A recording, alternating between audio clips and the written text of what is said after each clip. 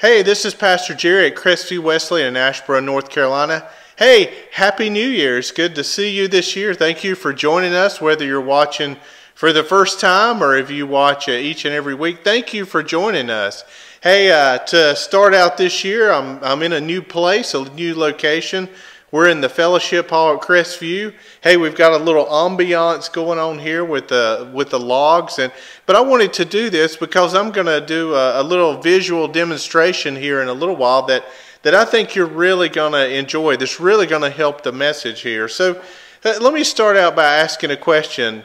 Do, do you, at the beginning of each year, do you set resolutions? Do you say, you know what, I'm going to change this year? A lot of it is a weight loss thing or, or to diet or to exercise. Uh, that, that seems to be the, the trend that goes on every year because you see all the weight loss commercials and, and the fitness equipment. So that, that's a big thing. But, but do, you, do you think about maybe changing some things or, or doing better at some things now that the new year started? The new year is, is starting off fresh again. So this is a great time to do it. Well, well, obviously, it's it's a big thing on my mind. This is uh, 2022. It's my first message of the year. We had a, a guest speaker at Crestview last Sunday, so this is my first message of the year. And and I was thinking about this. Been thinking about it for a few weeks now. How, how should I start out the new year? What what message should I do? And, and what I want to do is uh, is a message and and actually a visual. You'll see a little bit later on in the message that, that was like one of the most life changing things for me. It happened probably 20, 25 years ago. And, and it came from a class that I took and, and from a book that I read. It, is the, the name of the guy is, is Stephen Covey and it's Seven Habits of Highly Effective People. That there were some things in that book that just really has changed me even today. And and if you haven't got that book, it's a, it's a great book Seven Habits for Highly Effective People. But, but I'm going to incorporate some of the things in, in the message today, and, and I think it's going to be very helpful to, for all of us here because all of us could, could use some revision and some changing and some tweaking in our lives. So just start out by saying this all of us live with the same amount of time. You, you know, all of us have 24 hours in a day. Uh, we have seven days in a week. We have 365 or sometimes 366 days in a year. We, we all live under the same time. All of us is the same in, in that respect. We live of. But how do you use that time that, that God has uh, allowed us and allotted us each day and each week and each month and each year? How, do you use your time wisely? You know, for, for most people, including me, I mean, this message here is for me also, is that we're not very good at using our time wisely. And, and, and there's uh, very few that do that. And, and to do, to prioritize our time, I mean, it takes, it takes skill, it takes discipline to do that. It just, it just doesn't happen we've got to really focus on it and, and make sure that the, the main things and the priority things in our lives are, are the things that we need to be focused on. But a lot of times we don't do that. And that's what I'm going to talk about here today. And, and you may say, hey, I, I stay busy. I, I, I'm busy a lot, but but here's here's a question. You know what? You might be busy. You might stay busy, but are, are you really getting anywhere? Well, uh, there's this guy, he's a great writer. He's a, he's a Wesleyan. His name is John Maxwell. He's written a lot of leadership books. And, and he's, he says this to, to say what I was saying is he says that activity is not necessarily accomplishment. And we can look in Scripture, and Apostle Paul says this at least a couple of times. He's, he tells people to beware of being busybodies. And busybodies is simply uh, is someone who spends excessive time and effort where it doesn't belong. And we can find examples of that in Scripture. I can think of one just right off the, the top of my head where, where we become busybodies, and, and because of that, we don't really get to do the thing that's most important for us. Well, in, in Acts chapter 6, we read about the new church and, and these disciples, and, and the church is growing like crazy, and people are getting saved, and that's a great thing, but it ends up causing some issues. Uh, there's, there's other ministries that are coming from this. There's people that need help. There's things that needs to happen. And the disciples are being spread very thin. And in Acts chapter 6, you have some widows that are complaining because you know what? They're not getting fed like they're supposed to be fed, they, they, uh, they think. And, and the disciples know that, that something's got to change. They can't be doing everything, they can't be stretched so thin that they can't do anything. And it says in Acts chapter 6, the, the 12 disciples says, Our job is to preach and pray. And from them doing other things, they're, they're not able to really focus on preaching and praying. So, with God's incredible wisdom that they used, they did. Uh, they ended up selecting seven men filled with the Holy Spirit, men that were godly men, to take over these this important ministry of helping out widows. And and see, so what was happening is the disciples, these twelve disciples, offloaded the things that were, were, took them away from the ministry that God had called them to do. But when they got other people to do it, we can see the result of that at the end of chapter 6. At the end of chapter 6, it said that many more disciples were, were becoming Christians, were becoming, were, were growing. There's more and more disciples that were happening. And then it said also that the church was growing like crazy and, and the gospel was being spread. So you can see when you when you focus on the priorities that it helps out everything. And, and just a little aside here, I'm I'm a small I'm here at a small church and we're more, mostly a traditional church and I see this and in our church it can be a problem. In our church it can be a problem in a lot of smaller churches. And in any size church where it gets to the point of where the pastor is supposed to do everything that the, the people say, well, you know what, Th- that's his job. He's, he's supposed to go to hospital visits, he's supposed to make all the calls, he's supposed to take care of the, the maintenance here at the church, he's supposed to do everything. And, and do you see what can happen with the pastor of the church? It can be the exact same thing as what happened in Acts chapter 6, that you just get spread so thin that, that true ministry isn't done. Do, do you understand? So for us, for pastors in small churches or pastors anywhere, the, their main focus is to, to preach and pray. And when we start being asked to do more and more and more, we're spread so thin that, I mean, it's, it's just a big stress bucket. And we get to the point of where we can't accomplish anything, we, we get burnt out. So we, we see that. And so, so let's move on here. This prioritization of time is something that Paul also talks about in, in Scripture. And I'm going to be in, in the book of Ephesians, the letter of Ephesians today.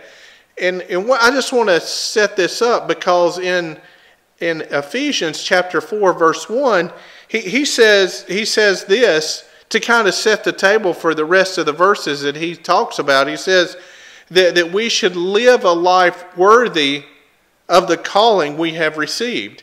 Live a life worthy of the calling we have received. So the rest of the, the information after, the, after he says that is to explain to us how we can live this, this calling, live a life of this calling we have received. So that's the important thing throughout the rest of the message. So he gets on and he explains a lot of things, and then he gets to Ephesians chapter 5 and he focuses on prioritization of time. So I'm going to read these verses here. It starts at verse 13 from Ephesians chapter 5, or actually starts in verse 15, and I'm going to read uh, these three verses here. So follow along with me. It says, Be very careful then how you live, not as wise, unwise, but as wise, making the most of every opportunity because the days are evil.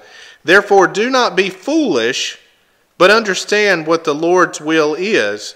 Do not get drunk on wine, which leads to debauchery. Instead, be filled with the Spirit. So, the first thing he says here in verse 15 is to be very careful of how we live. So, what he is saying here, what this basically means, is pay very close attention to how you live. So this is that is a very broad statement that can go from the way we live morally, the way we uh, spend our time, and, and definitely how we prioritize time. And see, he continues this in the second verse that I read here, verse 16. It says, the first verse, be, be very careful of how you live, be making the most of every opportunity in verse 16. So making the most of every opportunity is, is, is just simply using your time wisely. How do you use your time? Uh, let me give you a story that really, I, I think, helps with this, using our time wisely. I've told this story. Those of you who watch my messages know that, that back in the day, I used to play baseball. I love playing baseball. I love watching baseball. And, and back in my middle school and high school days, I, I played on, on various teams, and we had various levels of success. And one of the things from thinking through this and thinking through baseball and a lot of other things in life is that there was one year out of all those years that we played that we were really, really good. And, and after thinking through this, I found out, I really figured this is, this is why we were so good for that one year because it was basically the same teams I played on over all these years, but it was one year we were extra, extra good. And, and I thought about that. Why? How was that one year different, my sophomore year in high school, different than all the other years I played? Well, it, well, it's simply this: is when we practiced my sophomore year, we had a, a new coach that came in, and he understood the value of practice, and he also understood the value of using your time wisely during practice. And one of the things that he did is that the whole practice, we were busy doing something. We were using our time wisely. So, for example, if you weren't if you weren't hitting on the field where a pitcher or a coach was pitching to you, you were in the batting cage where a machine was just pumping balls to you.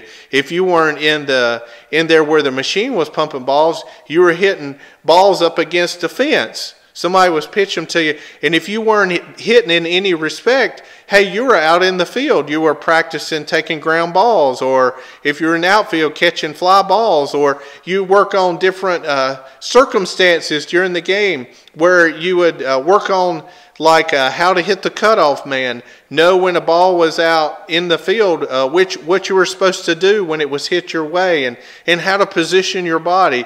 The whole time the whole time that we had practice, every practice, it was just full. And, and we used our time wisely. There was no sitting around. There was no waiting for the next person to bat. There was no loafing off. We were constantly busy learning something, growing in something, staying, using our time wisely. And because of that, our baseball team was really, really good. And, and again, our, it wasn't because of superb talent or um, in a lot of other factors, the main thing that I can see through this is that our practice, we used them very effectively and we used our time wisely. See, that, that goes through everything, right? It goes for us as Christians using our time wisely. It, it, for businesses, for, for anything that we do, there is something about using your time wisely, and that's why Paul talks about this here today is, is using our time wisely. So we, we can, it's, it's so important that we do that. So let, us move on to, to my demonstration here, or it's actually Stephen Covey's demonstration that he did, and it comes from, from his book. But, but this here just blew me away because we think about prioritiz, prioritizing time and using our time wisely, the way he did it is he, he used like uh, bowls like this, clear bowls, and, and the, these bowls are like our, our time, time that, that we have in our lives, and how, how we spend it. So this is like our life of time right here. Each one of these bowls is, and, and he used two different things to un, to make us understand how we use our time and how to prioritize our time. So he uses one thing. One thing he has is these little, they're like little pieces of sand or little gravels. What what this signifies is is like um, things that are not really, really important that we use a lot, that we spend a lot of time with. So, for example, let's let's think about this, and I'm thinking about my own life here. Things that are not real, real important, like social media. There's a lot of time that a lot of us spend on social media each day. Uh, uh, people spend hours to it. Probably I do too. Spend way too much time on social media uh, staying on the internet, uh, looking at things on the internet like YouTube or things like that. Uh, we, we, can think of um, maybe those of you who don't have uh, this social media stuff, maybe you're on the phone a whole lot, or maybe you're watching a whole lot of, of TV, or, or maybe maybe it's just like uh, Paul was talking about, you're just a busybody, that you're just doing a whole lot of stuff but not really accomplishing anything. And see, that's what these little rocks right here signify. So what we what we tend to do as humans is we fill our lives with the little stuff, the unimportant stuff first. So I'm, that's what I'm going to do is just put this in the bowl here and just show you.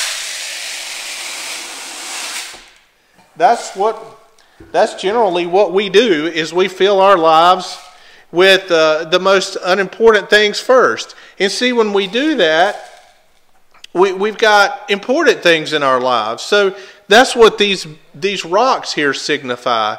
So the rocks can signify, I'm thinking about my own life here, they can signify things like, um, like uh, the one year chronological Bible, the time that I spend doing that. That's important to me. That's important in my life. So I put that in there. And see, I can squeeze that in my life. I can still do that. And then I can think about, well, I'm a pastor, so I've got I've got church responsibilities. So I squeeze that in there. And then I think about, well, what about my, my family?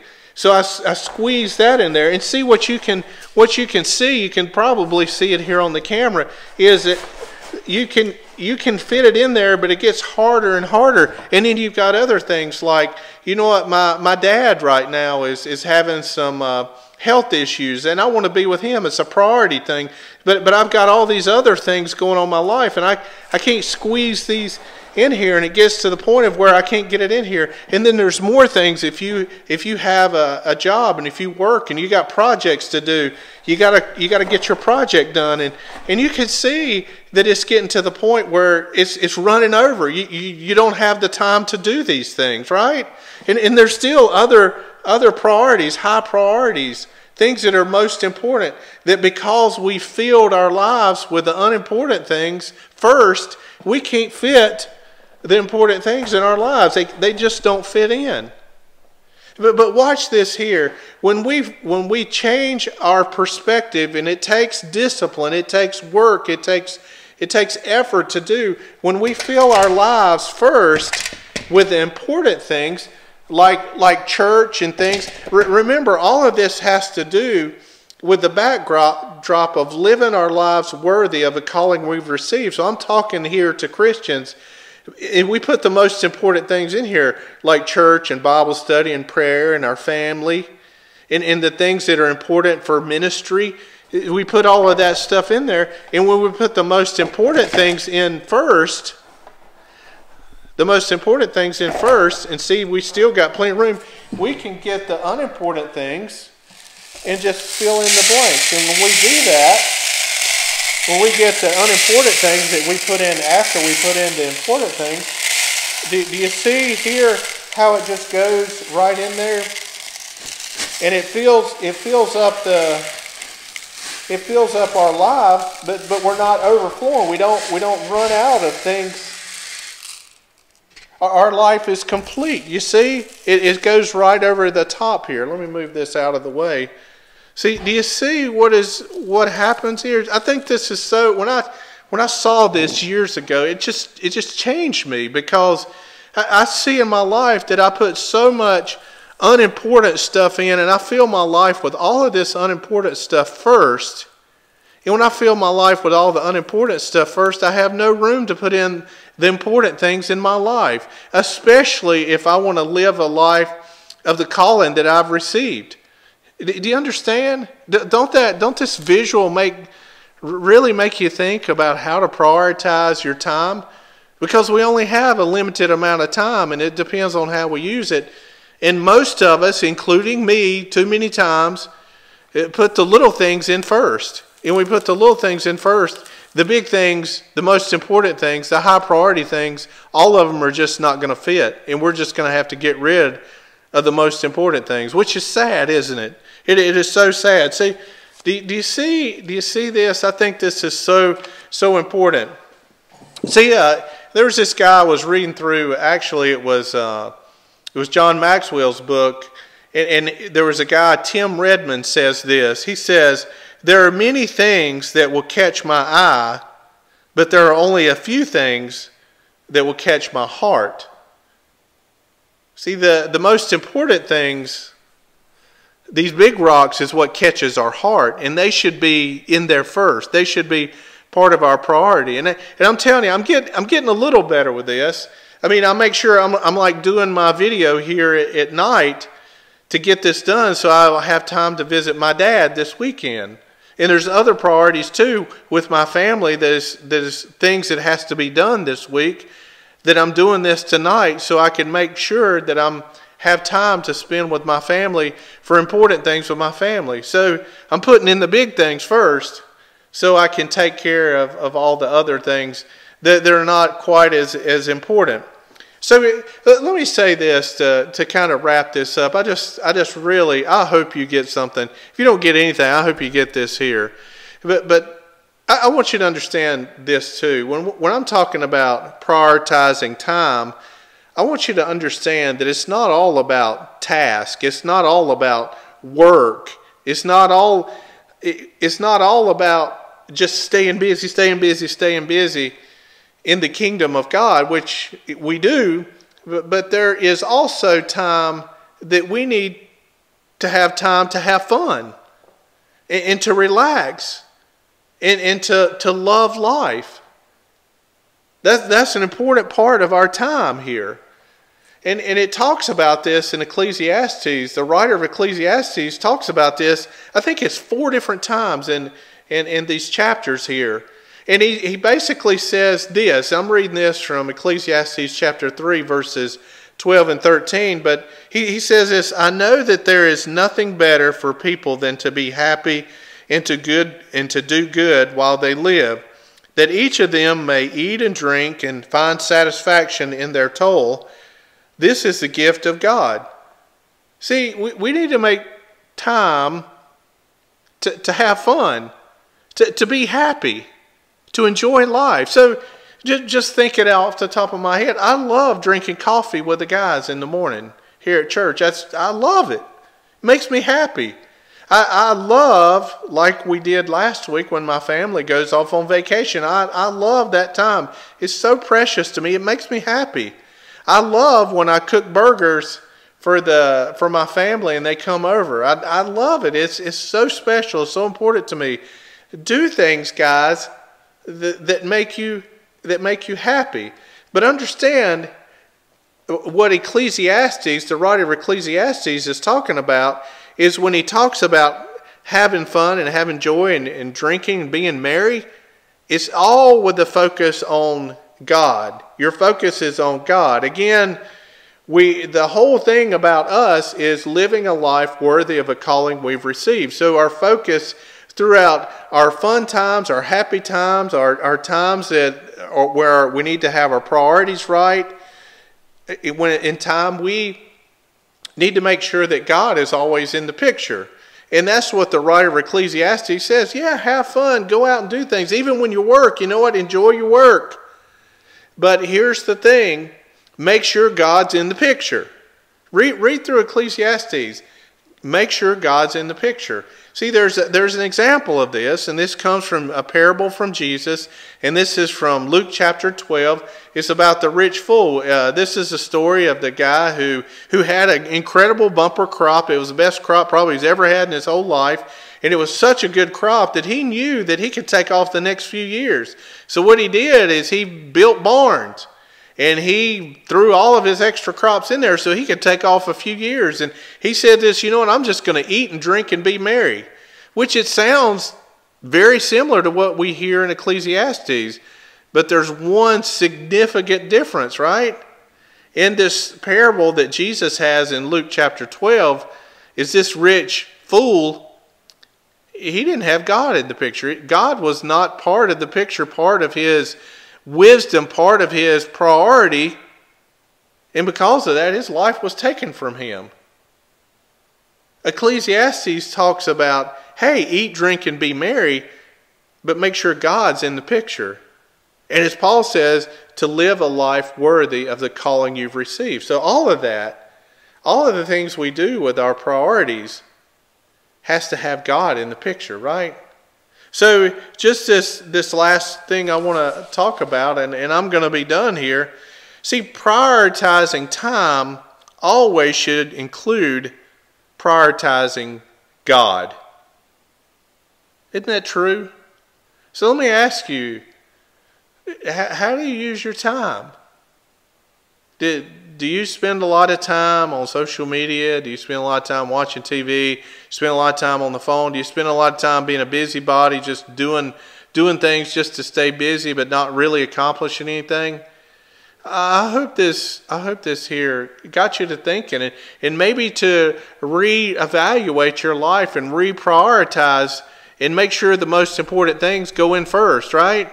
And, and another thing that, that's important about this is that each year I think we have to reevaluate what our priorities are. There's a lot of them that stay the same, but again, uh, thinking about my dad and some of his health issues, I've had to reprioritize some of the things in my life.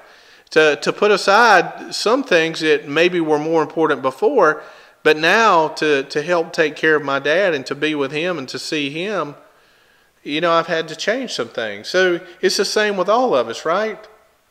Man, I hope you learned something today. I hope I hope you get this. Uh, I hope I taught this right so you can understand. If you don't, just just let me know. Hey, if you got any questions or something, uh, our information is on the screen here. We'd love to hear from you. Thank you and God bless you. I hope you have a wonderful 2022. Let's pray. Lord, we thank you for this day. We thank you, Lord, for our time together. Lord, I, I pray that, that we are smart about how we use our time. Lord, help us to, if we're spending way too much time on things as just busybody things, that Lord, that you just help us to, to put more focus on the things that are most important. And Lord, make help us to put the high priority things in our lives first. And, and so that the other things that maybe are kind of fun to do but not real important will also fit in too. Lord, help us to just follow you, to, to live a life worthy of the calling that, that we received. Help us to do that, Lord. Bless each and every one today. We love you. We praise you in Jesus' name. Amen.